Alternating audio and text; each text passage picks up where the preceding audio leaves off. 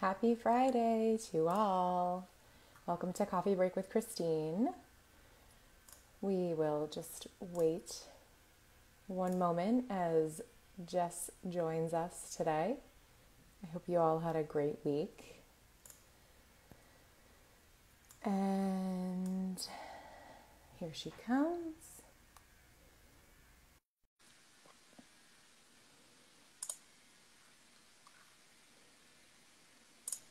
Hello. Okay, Hi. cool. I was like, I hope I don't have any technical difficulties. I know that happens know. sometimes. Yeah. yeah, yeah. How are Um, you? Good. Thanks for getting up so early in the morning. I, you're over there on Pacific time, so Yeah, yeah. It's 9 a.m. here. I know it's around noon for you, right? Yeah. So Yes. just getting my day started. yeah. Well, I'm ready. I'm getting ready to go out right after we're done for uh, to celebrate three years with my partner for lunch. Oh, so okay, congrats. Yeah, you're in Miami, right?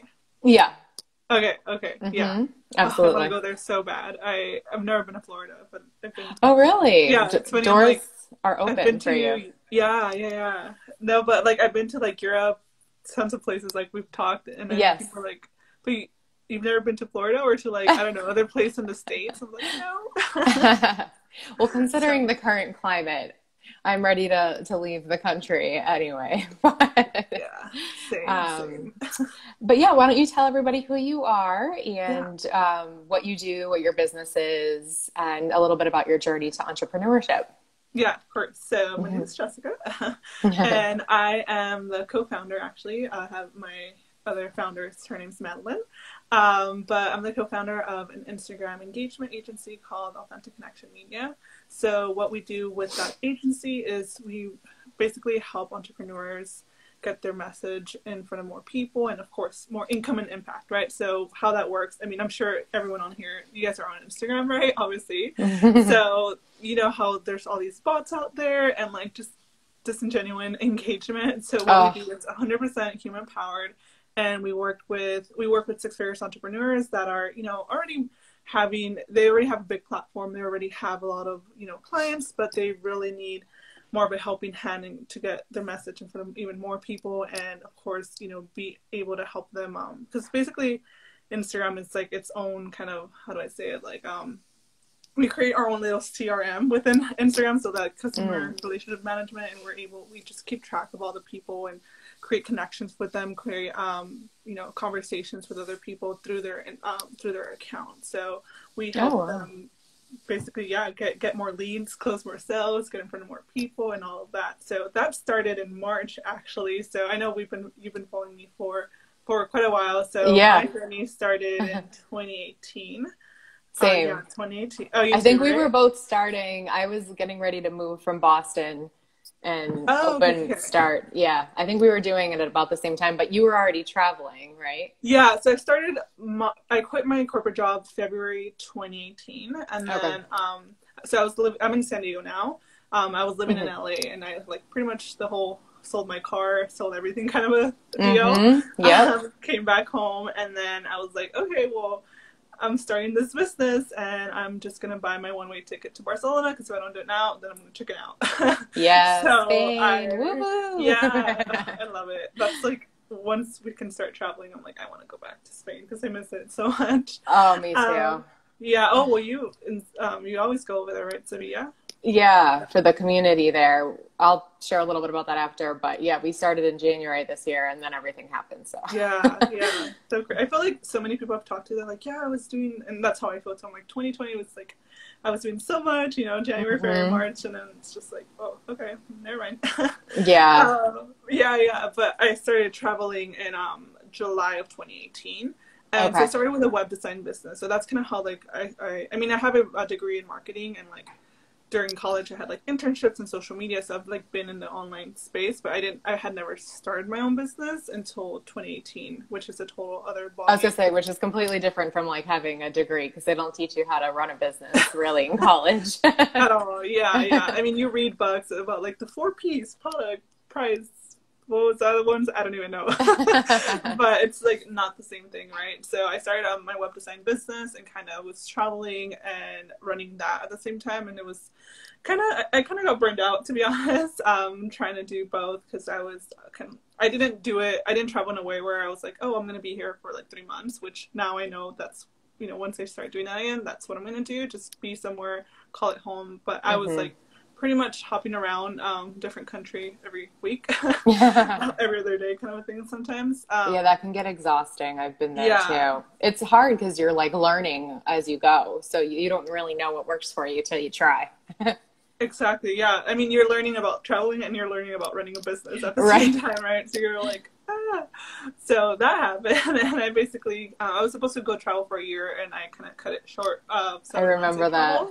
Yeah, I was just like, you know what? I was in Bali, and um, I was like, I had been dreaming about being in Bali, but at the point that I was in Bali, I was like, I don't even want to be here right now. Like, Oh, I'm just freaked out. So yeah, I came home. I actually didn't tell anyone, and I just came home and like showed up at my house, which was kind of fun. I remember I messaged you and you were like, "Oh, I'm back in California," and I was like, "Oh," like I was just really surprised. But I think one thing that people forget is like, because it's so easy with social media, like you show everyone you're working and you're traveling, and everyone's like, "Oh my god, I want that life." And I think you were actually one of the first people that I reached out to when I was doing my research. Like I was still working at Harvard and trying to figure out if I should leave my job and what to do and I was trying to network with people who were already doing it, and because I was like, if and if they can do it, like I can do it, you know. But Yeah. I think people forget like the mental aspect of both running a business and also traveling. It's stressful, and mm-hmm. you- especially when you're new, you know, it's not like you had the business up and running for years Yeah. and you were like. So the mental aspect definitely wears and tears on you, and you can have travel experiences that might not be so pleasant sometimes. So you just never know. yeah, no, absolutely. I feel like you know those whole pictures where you're at the beach with your laptop. Like I think I tried Mhm. that once, and like my laptop got all sandy and you Yeah. couldn't see because of the glare of the sun. And I'm like, Yes. uh, this isn't. or the Wi-Fi isn't right. fails. yeah, and Yeah. I don't know if I told you or you probably saw. Um, I got my laptop, so I had before the trip, I had bought a like brand new MacBook Pro, like the really nice, nice Touch Bar one, and a brand new like DSLR because I was like, you know, I'm gonna my be ready to be a digital nomad, and I was in Poland. Um, and yeah, someone it was the first time I had left my stuff in my locker because you get lockers because I was traveling by myself and on a lower budget at the time. Mhm. So I stayed in a hostel and I left my things in my locker and yeah, I came back and they had stolen my laptop and camera and like like I said, I was working. I had clients, so I was like, no. I remember you messaged me about it, and you also were like more concerned because you had to work, and like all your work was there in it. Was the locker locked? yeah, yeah, it was locked. Oh wow! Yeah, so I, I mean, I, I don't know, but basically, some friends from Europe, they're like Poland, like, I mean, I don't want to like stereotype, but they told me Poland that happens a lot there. and it's, like, Really? Known for that. I was like, I had no idea. Oh. so they're like, it honestly probably was someone that worked there. They, that's what they said. Um, because yeah, I mean, there was no like broken like uh, nothing. Like it was like a key, one of the key ones and stuff Oh. like that. So yeah, That's yeah horrible. so that happened but i got lucky because i was supposed to go to madrid like three days later to meet up with a friend um, and his parents were going to come visit him from san diego so my parents went to buy me a laptop at best buy Oh. dropped it off at his house and then i had a computer like three days later so Oh, i got wow. lucky because it was, it was like if you try to ship one from the us over there you have to pay for like fees um, Import like, I think- tax. yeah import tax i think it was Yeah. gonna like an extra $400 Oh my gosh! something like that. Yeah, yeah. So I got lucky. Like they literally like three. I just went with like three days without a laptop. So do you think that's what started like your I would say like how your mental state started to go down like when your stuff got stolen was that part of you wanting to go home or no, I don't think so. I think it, I actually took it. Like I, I mean, of course I was upset, but I Yeah. I think I took it in a way where it was like, okay, you know what? Like things happen. Like I didn't get hurt, or like you know I didn't true get you know someone stopped me at gunpoint or anything like that. I didn't have any emotional trauma in that way. So yeah I think it was just definitely like a hiccup, but um, I think mostly things started like like December when I was starting to travel like faster. I think when I started to travel like a little faster, um, where was I? I was in Thailand, or also just like you know months, six, seven, six months had passed already, Mhm. um, and it's like, oh, I think I'm starting to get a little homesick because I had been gone. The most I had been gone from home was six months because I studied abroad when I was um, in 2015 in, in Mhm. Madrid. So you know, we love Spain here, right? yeah so I, I was there for uh, six months. Yeah. So Mhm. this. So I guess I think maybe like the six month market. I was like, oh, this is the longest I've ever been from home. Um, Mhm. coupled with like yeah just like you know there's months where um clients weren't necessarily like flowing in the whole time Mhm. because like we kind of mentioned or i don't know if i totally mentioned it but like i basically decided to quit my job without having any clients i just saved up like a ton of money and um, i saved up for like 10 months i think it was and Mhm. um, I, I was like oh you know like everything you know because people market and they're like, oh yeah, be full time in your business in like two months or whatever. So I was like, okay, I'll quit my job and then like in two months I'll be like making the same as my corporate. Like I literally thought that when, I, when I quit back then. So uh, I think it was definitely like like trying to run a business, like starting. It wasn't like I hadn't established like, oh, I've had this business for you know a year or two years and like I have a consistent flow of clients and I have systems and processes. It was very much like I'm literally just starting this business from scratch. So I think um, Mhm. that's a big part of it. Like I would definitely not advise. I mean, some people do it in a way where they like, for example, they move to Bali, but then they just stay there and they like start their business kind of a thing. yeah. But the way I did it was like, oh, let me go to Barcelona, now Croatia, and Ireland, and, blah, blah, blah. and so it was very like I didn't have too much time to focus. Um, Mhm. So I think that like drained me. Yeah, Mhm. 'cause I didn't.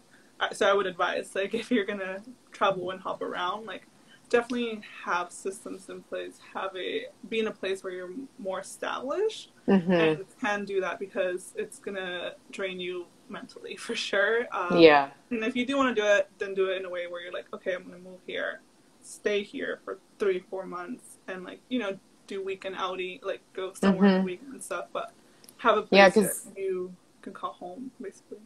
Yeah, because you also can have culture shock, which is like that emotional aspect again. You don't know what to expect. So if you're jumping around to a new country like every week or every couple of weeks, and it's like you don't Yeah. even know how you're gonna feel there or what how they treat you, or like there's so many factors that go into it. So I'm sure now if you or when you start out again, um, it'll be a completely different experience and a different journey. Um, Yeah. I'm curious, what was your or what is your favorite? I think I know the answer. What, what is your favorite place that you traveled to or during that time? yeah, it's so hard. It's, it's such It a hard, hard. question. I'm sure you know because I so I'd say like in terms of like where I'd want to live, and I just love Spain as in like the culture. I mean, Spain is beautiful, but I feel like I've seen more beautiful like scenery than Spain. Just Mhm. like Thailand, like the islands, like that is beautiful. Mm. But I think Spain is just beautiful in the sense of like the culture, the language, the lifestyle. Mhm. Um, so I'd like love Spain for that. But if we're talking more like, oh, it's like the most beautiful scenery you've seen or sunset or something like that, it, I think it'd be a tie between like Santorini um, Mm. and uh, like the islands like um, Koh Phi, I think it's called in Thailand. So I'd say those. Um, Okay. Have you been to Thailand before? I haven't been to Asia yet. I've been to Okay. like Australia, New Zealand, and Fiji, but I didn't make it to Asia yet. So I haven't. No, I haven't seen that part. That's the one area that I need to Yes. head over to. It's so far from the East Coast too. From Yeah. you know. So Yeah, no, for sure. I mean, I'm in like, California too, so it took me like 24 hours to come back from Bali Mhm. Here. Oh, like, my gosh. full day. I mean, I had a but yeah, still. it's a long. Um, you speak Mhm. Spanish fluently, correct? yes, yeah. Uh, I should have you. Well, once we get back to, um, we have workshops for Femprendedoras, the Spanish community that I run in Uh-huh. Sevilla. Um, we should have you come over and do a workshop in Spanish. That would be Yeah. amazing. I will say, so I'm fluent. Spanish is my first language. Um, Yeah. I will say, when it comes to business, it's just a whole total ballgame. It like, is. ballgame. I'm like, uh, uh, and I just start speaking in like little words because in Spanish, you know, like technical or like more like kind of like jargon, business jargon. Right. Yeah, It gets I kind of agree. complicated. I so agree. I definitely would love to do it, but I will say I probably will do some little Spanglish there. Yeah. um, I it was it's been a learning curve for me. It's my second language, so trust me, I was so nervous my first presentation that I gave in January, and um, but it gets easier, and the people are understanding. Like they all know I'm American, and you know they're they as long as they're learning, then they're happy. yeah, yeah. So. I'd love to do an in person one too, and oh, this mm-hmm. is over. I've never been to Sevilla, so I've been to Spain oh. like three times, and I've never made it down south. I went to Cadiz, but not Sevilla okay. or Granada or Cordoba. That those okay. places are on my list. Sure. Oh yeah, it's a whole different world than Madrid and Barcelona. So definitely, yeah, I can imagine. You can come and stay with me, and then, awesome. yeah. So so going back to um, just handling, you know, the ups and downs can of entrepreneurship. Can you share a little bit about how you did that? Um, kind of like what's the most difficult part you think for being an entrepreneur and how you handle the ups and downs? Yeah, so I'd say the most difficult part would probably be, and that's something i have gotten way better at, but just like mm-hmm honoring the stage that you're in because it's so easy. Obviously, again, we're all on Instagram right here because if you're watching this, you are on Instagram, and it's so easy to like scroll and see people that started their business like a minute ago and they're already like at 10k months or like, you know, a million dollars or whatever. It's just like that. I think that's been um, hard. And again, I've gotten way better at this, but I know at mm-hmm. the beginning it was really like just a lot of comparison. Um, and so I think just being okay with where you're at and mm. you know, some people might start a business one. you know maybe a month or two months ago but you don't know like maybe they started their first business really in reality like two years ago and they did it for a year and that failed and I learned so much mm-hmm. that they took into this so you don't know the story behind it um, you know, so like for example, this agency we just started it in March, um, but we're you know already hiring our first, we already hired our first team member and we're booked out, so it's been going really well. But like I had, you know, we both, so my co-founder and I, we have other businesses and we've tried things and failed and learned. So you know, maybe you look at this agency and you're like, oh, they just started in March and they're like booked out and doing well, but it's just like, well, yeah, but they started these two ladies have another business where they have been going at it for two years and have learned so much. So it's just like mm-hmm. being, um, being like not don't be hard on yourself or like not it's hard being there yet or like comparing comparing yourself to other people because you really never know what uh, you know what they went through to get there or you know even also like people that share like, oh yeah, I made like you know whatever amount, but it's just like, oh well, how much of that was profit? So you just really never know whether it's like good or bad. Like, you know, mm-hmm. just just also take that as an opportunity to see like, oh, this is what's possible for me. Um, also not not I'm not saying like, oh, just like disregard people. Just like cool, like they got there, I will get there, and this is what's possible for me without mm-hmm. the. I guess I'd say just like that perspective shift. Yeah. I'm from Barcelona. Sorry, I was just. Yeah, yeah. Someone's. Hello, hola. Jana, nos, nos encanta tu país. sí, yo quiero regresar a Barcelona o Madrid o los dos. yeah. Uh, yeah, no two people's journey are the same. You know, you could run and start the exact same business at the exact same time, and it just depends on your clients and your experience. And hola. Mm-hmm. Um, yeah, everyone's journey is different. And I love what you said about, um, you know, just accepting where you are and um, using the failures as a learning experience. Like, you yeah. know, it's, it's easy to say like, why me when something goes wrong instead of like, just why, like, why is this happening? What, what do I need to take from this? What do I need to learn? You know, where can I improve and get better? Exactly. So, yeah, yeah. I was actually talking to a friend um, about this couple days ago, and she was mentioning that her mentor was saying that kind of like think about it as if you're like putting together a cake, and every experience is a, an ingredient that you need. Mm. So everything that you go through, it's like you're gonna need it in order to finish the cake, or you know. So mm-hmm. I love that because it's like you know my web design business. I did it, and I found that I definitely wasn't in alignment with what I wanted to do. Mm-hmm. But like I was able to take that, like being in the online world, I learned so much about how to start a business.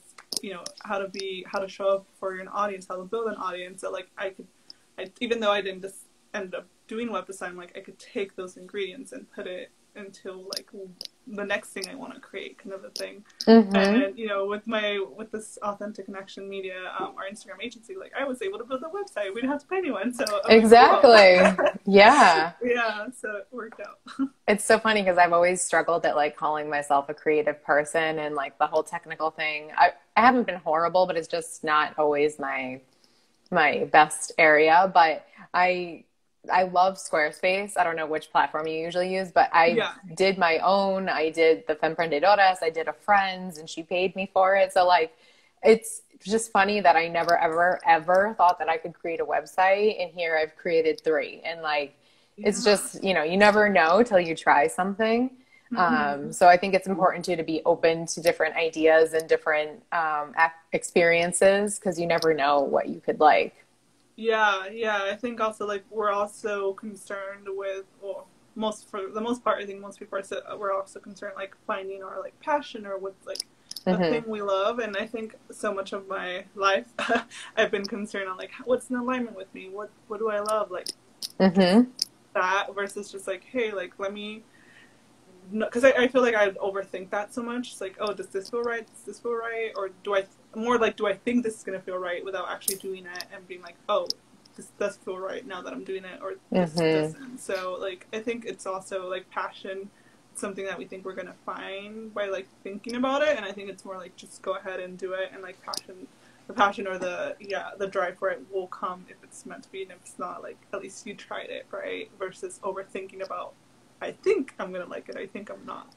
That's true. Yeah. That's that's so funny you say that because I um when I was leaving my job to quit, I was like, "Oh, I'm going to be a virtual assistant" because I had a lot of administrative skills and like project management and I was like, "Oh, well, I'm I think I'm going to love it because I'm going to be able to travel." But I wasn't Yeah. loving what I was doing. so that's when I pivoted and like started the coaching um, you know, studying to be a life coach and all of that and getting certified. So it's it's funny when you think you know what's best for you and you think you know what you want and then all of a sudden you find yourself changing completely and and it's okay like it's okay it's all part of the process and learning Exactly, exactly. Yeah, but you, yeah, at least like you did it. You weren't like, oh, I think, but maybe not. Like you went ahead and did it, and like that's that, that's. I'm in a similar like boat to you because when I started web design, funny story, I had never actually built a website before. So Oh my like, gosh. "Oh." Yeah, so I came across this um, course that uh-huh. their marketing, like their niche and their, uh, I'm sorry, their um, ideal clients was basically me, people that millennials that wanted to travel. So like they had this course where it's- it was either you become a social media manager or a web designer, and like I Mhm. had done social media management, but I didn't necessarily like so much of like. I didn't like the one being the one posting. I like the strategy behind it, but so I was like, oh, I'll Mhm. just be a web designer. So because I could travel the world, so it's just like you just saw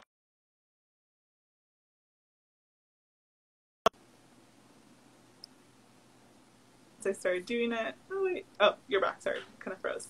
Yeah. Um, but yeah, so like what you said, it's like oh I'll be a VA because I can travel, but then you forget that like you have to do the work. you can't Right. just, like, to the traveling, right? yeah So it's Absolutely. yeah, funny how that works. You're like, yeah, I, I think I want to enjoy what I'm doing too. yeah um yeah. jana or jana i'm not sure how she says it but she so jana tell us what whoop stands for she said she started to practice it i'm curious what that stands for Um, so we're almost out of time, actually. But um, if you could share, I know we've been talking about all the lessons we've learned and all the mistakes we've made. But um, if you could share one piece of advice for someone who's just starting out on their journey, um, what would that be? Yeah, so I'd say, you know, if you're looking to become an entrepreneur and such, my biggest piece of advice, uh, which I did not follow the first, you know, the first year and a half of my business was focusing, you know, once, obviously this is like once you know what you want to do, so this advice is not necessarily to like how to find what you want to do, but more like, okay, you have a business that you want to start and such. So I'd say really focusing on, and this is like unsexy advice, I guess, um, but focusing on the things that are going to bring you revenue, right? Because Mm. when I first started, I literally got, I was like, I need business cards. Like, that's the first thing I need. Yeah. It's, like, it's not the first thing you need. You not need business cards. So when you, you know, because at the end of the day, a business needs to make money, right? If you want to travel and you want to do all these things, like you need to have clients. So I'd say focus on the things that are going to bring you revenue, which is you know building relationships, having conversations with people, not spending hours. Because I would do this like, oh, I think this font doesn't go well with this. Let me spend Yeah. hours finding the right font. So Yeah. we can get stuck in that loop because Mhm. it feels comfortable, it feels safe, or like creating a ton of blogs. I literally would, you know, my whole day would be like four hours, five hours of writing blogs, which Oh I'm wow. not saying, um, you know, creating a blog and like, you know, there's a lot of uh, opportunity there too because you can find, you know, be found on Google and blah blah. But just like when you're really starting, like what you really need is you need clients, right? so Right. On on those things and get uncomfortable. Put I say, which can there. be uncomfortable, but Yeah. it's necessary. hmm Yeah, it's definitely necessary. So like a logo and like even though I was a web designer before, like I wouldn't have if you're just starting out like a website is not the first thing you need. Absolutely not. It's like you need to get your your name out there. You need to start having conversations with people, see how you can potentially help them, right? Like I, I Mhm. think um, people are afraid to do that because again it's it's uncomfortable. It's it's scary. Um, you're running the risk of rejection. Where whereas when you're hmm tweaking your website for the hundredth time, like there's no one that can reject you there, right? Right. So That is I- that is I'd so true. Doing that, and which is basically what you know kind of correlates to what we do with our agency. Like we start relationships with people, we have conversations, and because people, you know, obviously like don't do it in a way where like if someone's like not obviously they don't need your help, they have another coach, or they like Mhm. you know they're not you can tell like just having emotional intelligence right when someone wants to talk to you when someone doesn't right and just Mhm. communicating people in a way that they want to be communicated and see Mhm. is there a place for me to help them um, if not you know it's fine i can still deliver value in other sense you know people follow you on instagram whatever like you're giving value regardless but like do they need your help beyond that yes or no um, so yeah that'd be Mhm. my advice focus on those generating uh, revenue generating activities Yeah, I mean, relationships are super important, and you just never know, like, who you're going to meet or run into Yeah. or who they know. You know, you meet them, and then it's like, who do they know that can help you? And I think sometimes when people say, think of networking, they're like, oh, here's my business card, and this is my service. But it's actually focusing on building those genuine relationships, and yeah you just you just never know. So Yeah, exactly. Like you said, um, you might end up in a podcast. Like maybe it's Mhm. it's not like, and again, it's not like going with the intention like I need to sell this person. Exactly. How They can read you yeah, yeah. they're like, that person's hungry. yeah, yeah, seriously. so it's like going with the intention of like, how can I provide value for them? And Mhm. you know, I think when you hold that energy and come, have that intention, like that's when things work out for the best. And like you said, you never know whether it's like, hey, I, you know, my past client is actually looking for what you have, or like, you know, I have a Mhm. podcast and I'd love for you to go on it. So it's, you, you never know what, you know, what that's going to turn. And I know I love that we're in a live because I think that's how we kind of started just connecting like over DMs. And Yeah. we're in a live, and now I'm gonna go to Sevilla and visit you. Exactly. I was like, "Oh, she's in Spain. I'm going to go talk to her. she's in Spain and she's working and traveling. So I was like, okay, I'm going to say hi to her. yeah, and people are receptive. Like I was like, yeah, Oh, yeah. I, I mean, of course, I was like really happy when you reached out. Like most people aren't gonna be like, why are you talking to me? Like maybe you'll get one person that's like, hey, I'm really busy. I can't. Don't have time to talk. So Yeah. it's like, cool. Okay. I, bye. It's On to the next one. Yeah. Yeah. Yeah. Um, so we have to go in a minute, but I just wanted to also tell you that I love the emails that you send. I'm actually usually not a huge email person, and I'm actually learning more about email marketing now um, as we speak. But your emails are so, you give so much value and they're short, which I love.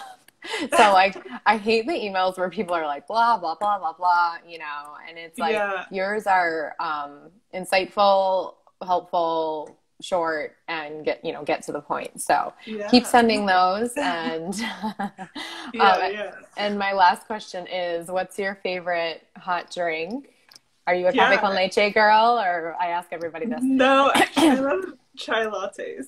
oh wow okay yeah, I know. I'm like, people laugh at me. They're like, "You're the most." So I'm Mexican, but I I don't. So I'm not vegetarian, but I'm pescatarian, so I don't eat meat. And Okay. like, "Oh my god, like you're the because I don't like like um like tamales. I don't like like horchata. I don't like all these things that people like make fun of me or like café con leche. Like, I don't I don't really drink coffee to be honest. So oh wow, yeah, chai latte is my.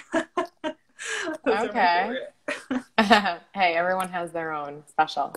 Um, yeah. yeah, Jana, thanks for joining us and feel free to connect with us. We love meeting new people, especially in Spain.